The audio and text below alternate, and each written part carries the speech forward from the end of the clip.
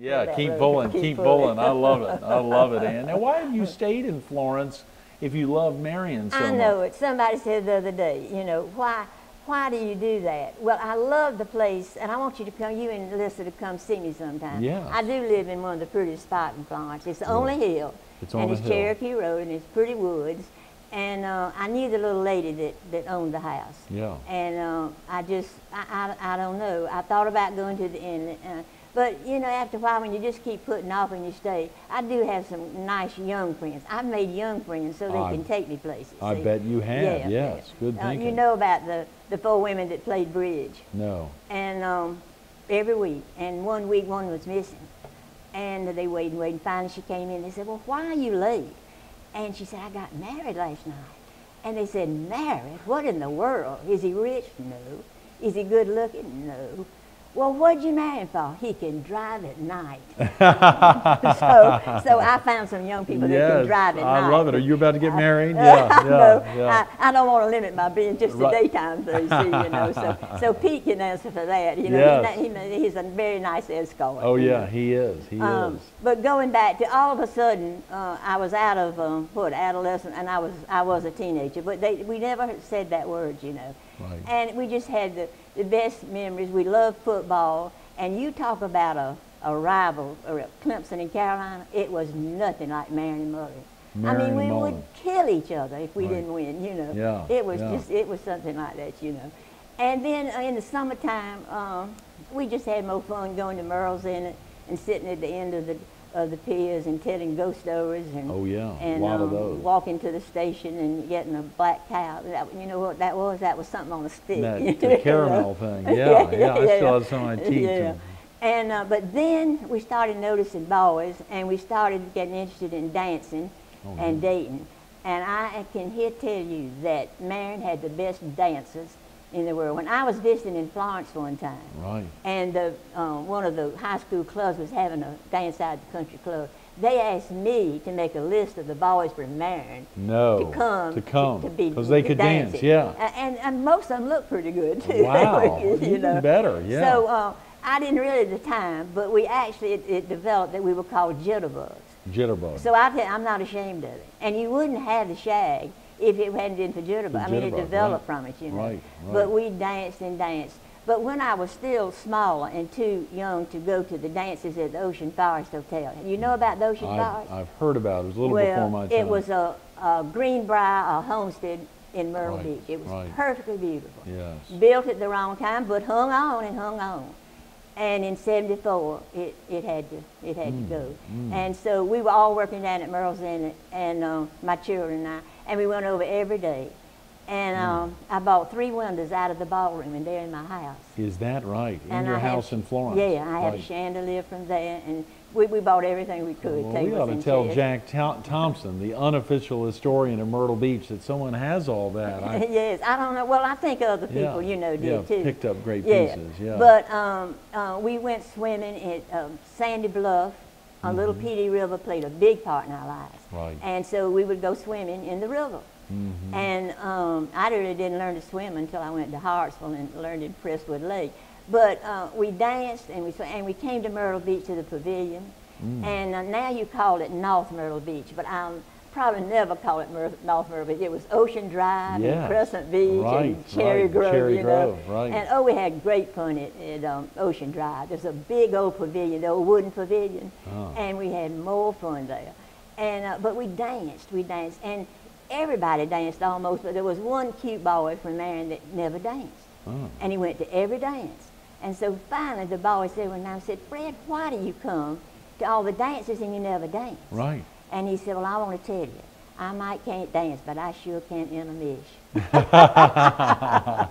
he can definitely.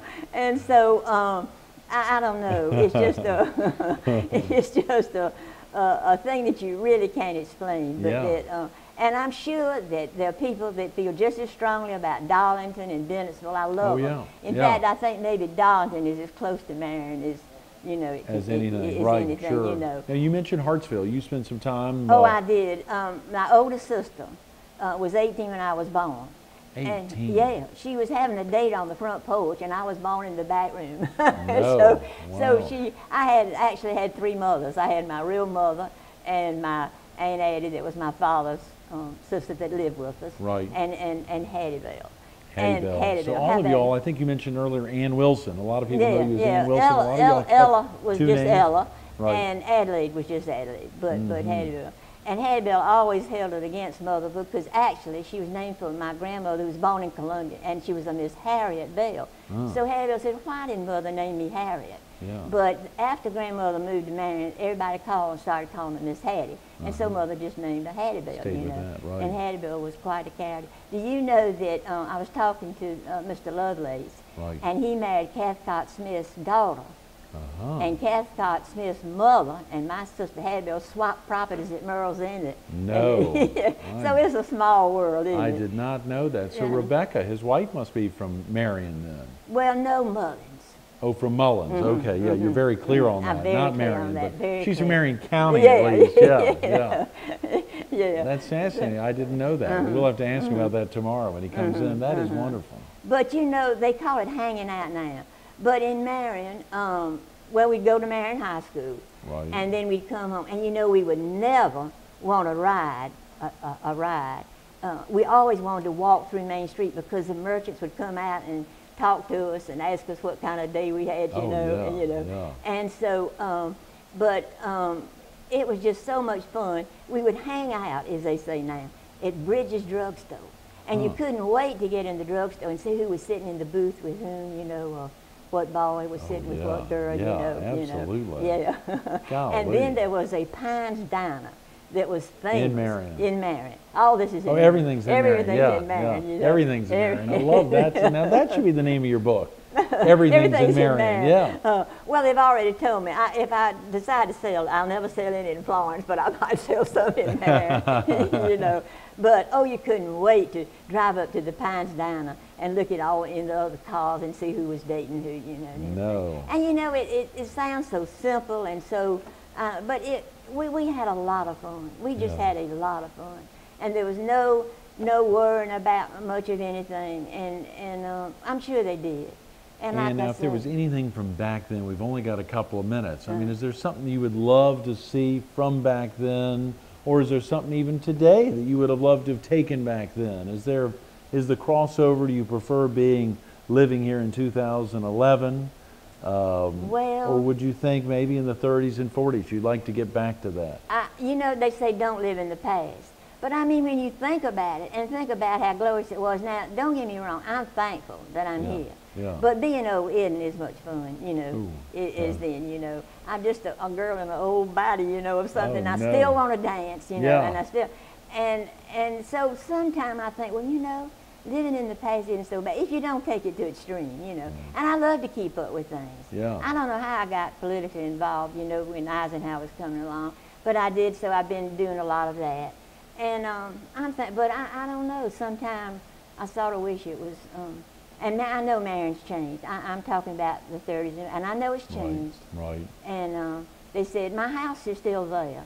empty. home you grew up and, in? Yes, and um, the girl that owns it won't sell it, won't do anything to it. Lives out in the country because she loves horses. And uh, oh, if I were a rich man, like they said, I would buy that house just to you know just, Just to, to keep it, it. you Yeah, know, just sure, to keep it. sure. We had a front porch that went all the way around.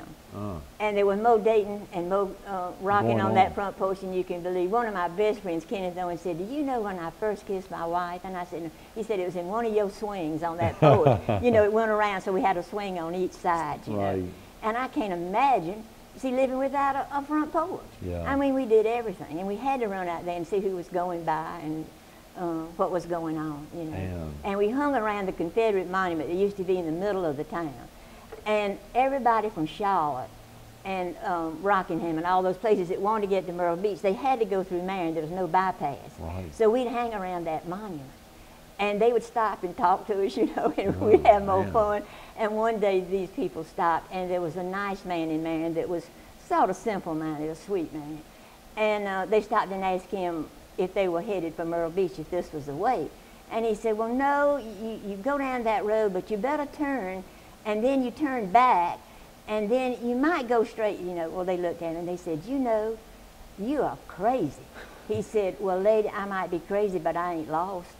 I love it. That's a great way to wrap. I'm embarrassed to say we've run out of time. oh, Anne, thank no, you no. so much You have to stop me. for know. being with us. I know you've been great. I didn't have to go over any of these questions that we used You to see, prepare I, for I'm the uh, never interview. happier when I'm talking about marriage. I love Peter. it. That is tremendous.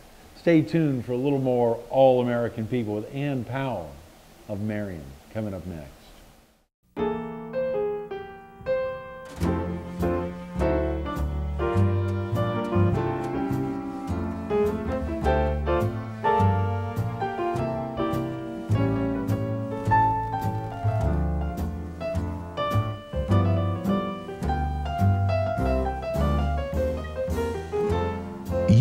Have it. All it takes is pre planning and the knowledge that all the tough decisions have been made.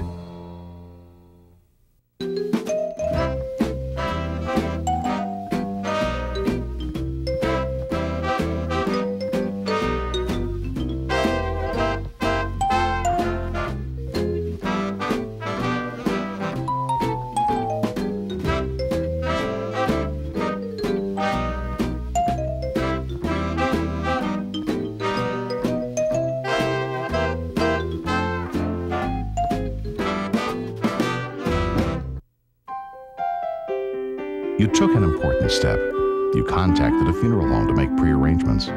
Only thing is, now you have second thoughts about the firm you've chosen. Not to worry. You can transfer your prearrangements to us as we honor most plans. After all, pre planning is about removing burdens from your family. So, isn't it good to know you can trust us to be here? Can you say there's no one else quite like me? Is each new day another opportunity to prove you're unique? If so, you have reason to celebrate. Imagine your life's accomplishments, passions, and dreams memorialized beyond your photo album, a way to leave a permanent impression, a personalized celebration of your life. After all, there isn't anybody quite like you, which is why we don't think our funeral services should be quite like anything else. You oftentimes hear Anne talked about as a product of the greatest generation. If you've sat here the last 25 minutes, it's pretty obvious. You can see why. We ran out of time. We wanted to have the chance to share a little bit about Anne. Has some great stories about my father-in-law's grandfather. So we're going to have to get her back another time to hear some of those stories and to have the chance to elaborate, elaborate a little more about Marion and Murrells Inlet, but particularly about Marion and her continued love day in and day out of that special place. Anne Powell, thanks so Oh, much for being with us this morning. Thank you for having me again. Uh, Thank you so much.